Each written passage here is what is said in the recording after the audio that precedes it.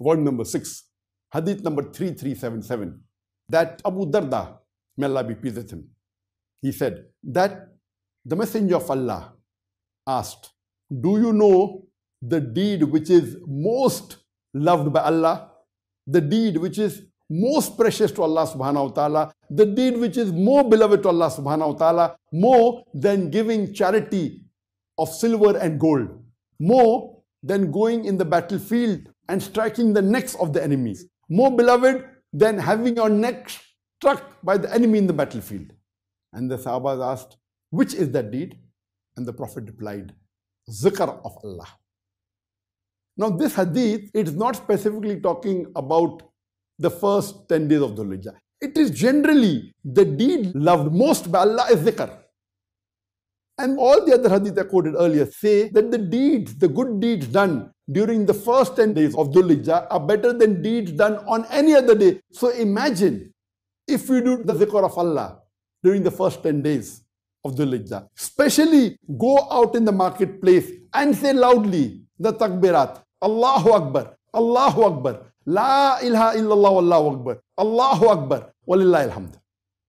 Imagine the sawab. It is much better than distributing gold or silver in the marketplace. Much better than being struck by the enemy in the battlefield. Striking the enemy on the neck in the battlefield or being struck by the enemy on your neck in the battlefield.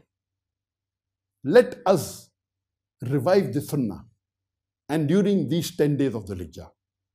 Recite the takbirat on our own and even in the marketplace. And the 10 days of Dhul Hijjah are starting from tomorrow in most of the countries.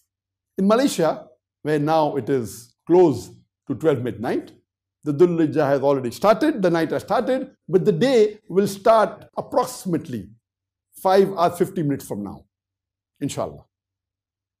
Malaysia is one of the few countries where the first 10 days of Dhul Hijjah will start. And later on, the other countries, the Gulf countries, four hours later, five hours later, so on and so forth. So that's the reason I thought it's important for me to speak on this topic.